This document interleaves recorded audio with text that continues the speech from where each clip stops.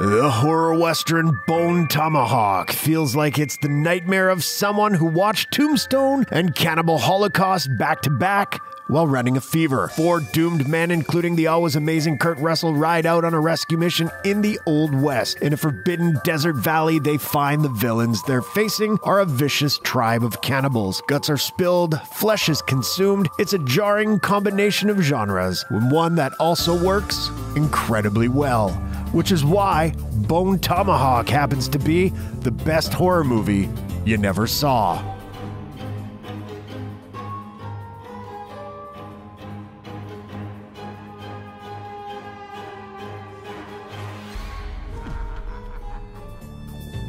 This movie marks the feature directorial debut of S. Craig Zahler, a writer who had sold over 20 screenplays before he decided to bring one of his scripts to the screen himself. He got into directing out of frustration. While he was paying his bills selling scripts, only one of them had been turned into a movie. The 2011 horror film Asylum Blackout.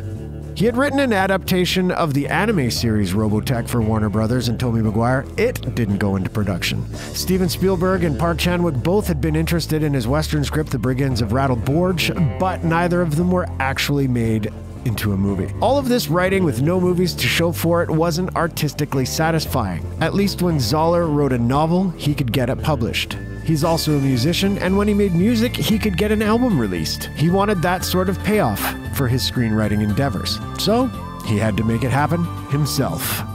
Zahler's manager Dallas Sonnier suggested that he should make an adaptation of his novel Wraiths of the Broken Land, a shocking, violent Western story about an outlaw gang seeking to rescue two sisters that have been forced into prostitution. Zahler wanted to make his movie on a lower budget, so Wraiths of the Broken Land wasn't an option. The scope of the story was too big, but if Sonnier wanted a shocking, violent rescue mission Western, he would deliver one, just on a smaller scale. That's when he started writing Bone Tomahawk. Said in the 1890s, the story begins with a pair of criminals killing a group of sleeping men and stealing their belongings. But that's not what gets these two in trouble. Problems arise for Buddy and Purvis when they decide to cut through a strange burial ground decorated with skeletal remains. While Buddy is attacked and eviscerated, Purvis runs for his life and ends up in a small desert town of Bright Hope. It's clear to Sheriff Franklin Hunt and Deputy Chicory that Purvis is bad news. He becomes violent when they try to talk to him, so Hunt shoots him in the leg.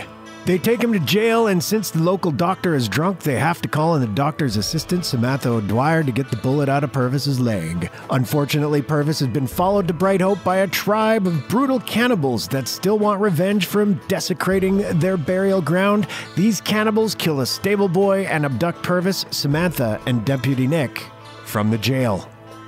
Hunt forms a rescue party that includes the somewhat dim witted Chicory, Samantha's husband Arthur, who is determined to trek through the desert to save his wife even though he's nursing a broken leg, and the exceptionally arrogant John Bruder, a man who has killed over 100 Native Americans in his life. You killed 116 Indians. Before these men set out to save Samantha and Deputy Nick, and sure Purvis too, if they can, a Native American professor warns them about who they'll be up against. The professor tells them the abductors are a cave dwelling tribe of indigenous people with no name and no language. He describes them as troglodytes, a spoiled bloodline of inbred barbarians that live on forbidden territory in a place called the Valley of the Starving Men. The professor considers this rescue mission to be a suicide mission and has no intent in taking part in it. So, Hunt, Chicory, Bruder, and Arthur O'Dwyer ride out on their own, aiming to make the five day journey to the Valley of the Starving Men in three days. This journey does not go smoothly. Arthur's injured leg is a serious issue. There are morally ambiguous encounters with other travelers, and they lose their horses, forcing them to finish the journey on foot, which makes things even tougher for Arthur. But they do reach the valley and find the cave dwelling tribe is just as terrible and vicious as the professor described. They attack with stunning speed and ferocity and even commit one murder in a way that would have fit right in if it were shown in Cannibal Holocaust. Things get quite gruesome and violent in Bone Tomahawk. Zahler was able to assemble an amazing cast to play the characters who witness and experience the violence. The movie appeals to genre fans right away by casting Sid Haig and David Arquette as Buddy and Purvis. When Sid Haig is the first person to be violently killed off, you know this is serious business. The four men on the rescue mission are played by Kurt Russell, Richard Jenkins, Patrick Wilson, and Matthew Fox. Samantha is played by Lily Simmons, a relative newcomer who proved quite capable of holding her own on screen with her more established co stars. Evan Jonigheit's Deputy Nick is at the center of one of the most shocking and memorable moments in the movie. And along the way, we get quick appearances from the likes of Zahn McClarnon, Kathryn Morris, Sean Young, Fred Melamed, Maestro Harrell, James Tolkan, Michael Paré, and the Lost Boys' own Jamison Newlander. Bone Tomahawk was always destined to have an impressive cast. When Zahler and Sonnier first sent the script out, it ended up in the hands of Peter Sarsgaard, who became the first actor to sign on. He was going to play Arthur O'Dwyer. Sarsgaard and Kurt Russell have the same agent, so the script was passed over to Russell next, and he signed on. Zahler had written the Chicory character specifically for Richard Jenkins with his voice in mind. Jenkins actually changed his voice for the movie, speaking Chicory's lines in a way Zahler hadn't imagined, but it was a welcome change. And Zahler was glad to have Jenkins playing the character that was always intended for him. Timothy Olyphant was cast as John Bruder early in the process, and Jennifer Carpenter was cast as Samantha. Sarsgaard, Olyphant, and Carpenter ended up having to drop out of the project due to scheduling issues because it took two years to get the movie funded.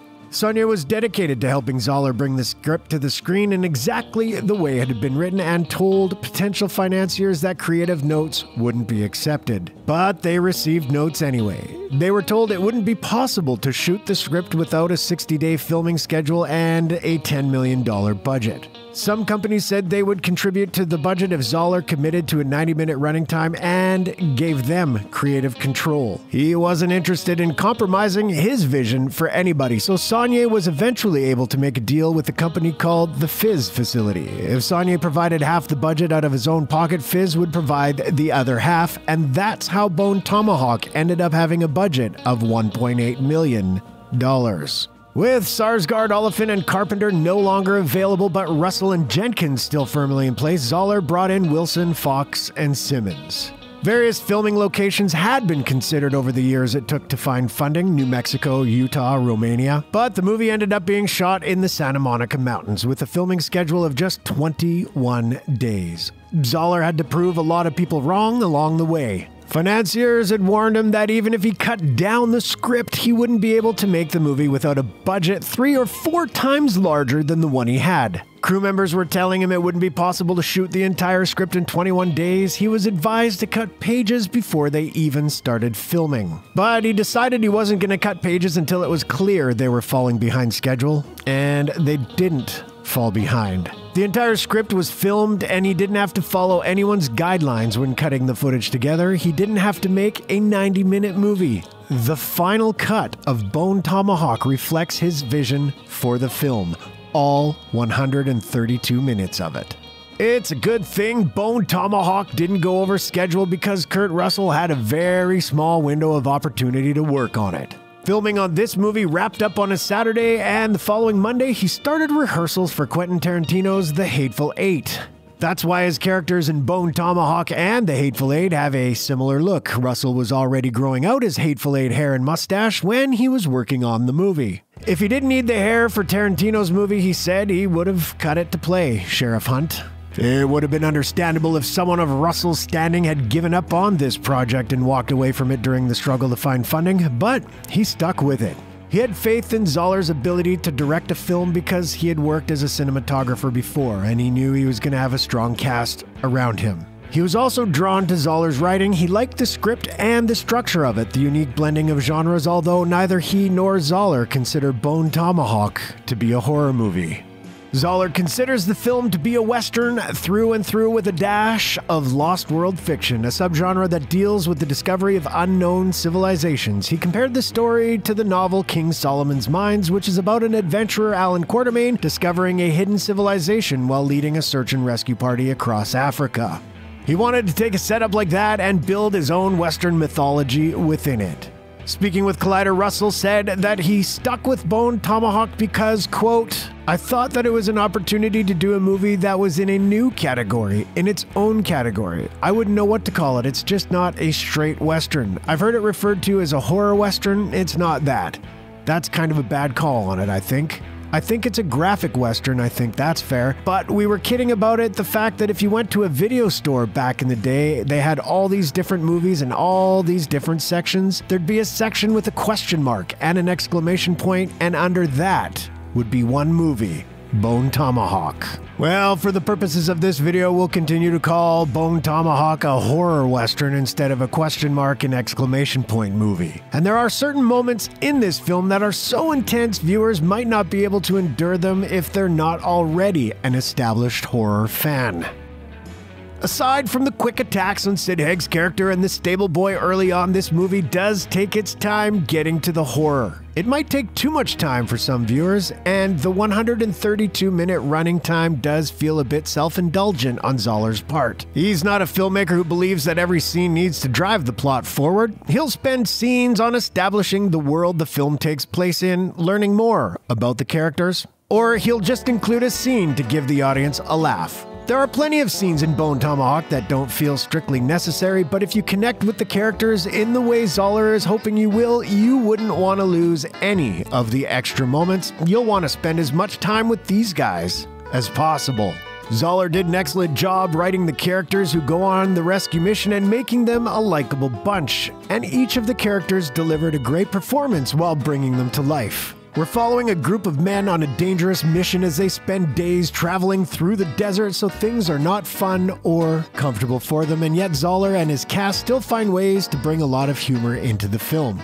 Whether it's through scenes of Hunt and Chicory discussing things like how to read in the bathtub without getting your book wet, or the vain and arrogant Bruder claiming to be the most intelligent person in their group because. Smart men don't get married.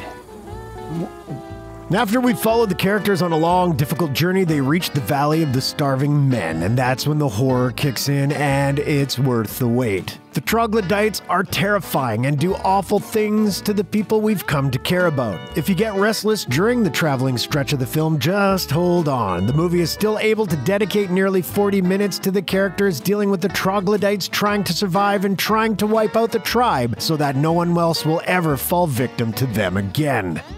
Bone Tomahawk has moments of action and humor that are likely to stick with viewers after they watch it, but there's one scene that's more likely to get lodged in your brain than any other. The death of Deputy Nick, which Samantha, Hunt, and Chicory are forced to watch while being held captive by the troglodytes. This is the moment that's reminiscent of Cannibal Holocaust, a movie that was brought up to Zahler multiple times when he was doing press interviews for the film. While he wishes Cannibal Holocaust didn't have its moments of real animal deaths, he does think it's an effective film overall and admitted that it was an influence on Bone Tomahawk, particularly in the way it showed the violence. Speaking with DailyDread.com, Zahler said his movie has, quote, a very dry presentation of the violence in the same way as Cannibal Holocaust. The long shots of the horrible stuff happening to people, you just see it unfold. When you go in close, those aren't perspectives anybody ever has on violence unless it's happening to them firsthand, and in which case they haven't survived to watch the movie. So I kept the style consistent with the hideous violence as with Chicory and Sheriff Hunt talking about corn chowder. The death of Deputy Nick is supposed to be shocking and appalling, but Zahler also uses this moment to show how strong Sheriff Hunt is. Instead of freaking out, Hunt talks to Nick through this horrendous event and assures him he will be avenged. So even while the viewer is cringing at the gore, Zahler is still taking the opportunity to do character work. Kurt Russell has starred in some awesome cult films and genre movies. Used Cars, Escape from New York, The Thing, Big Trouble in Little China, and Death Proof. Bone Tomahawk is a movie that's worthy of being listed up there alongside the greats. Like several of those movies, it wasn't a box office success. It didn't even make $500,000 during its small theatrical run. But it found its audience on home video, where it earned over $4 million from DVD and Blu ray sales. Now it stands as another cult classic on Russell's filmography, and like its predecessors, it deserves to have a following that will grow with each passing year. If you like westerns, Bone Tomahawk is a great one. If you like horror, Zahler welcomes you to the Valley of the Starving Men. And if you like the idea of a horror and a western being blended together, sitting through Bone Tomahawk is a blissful.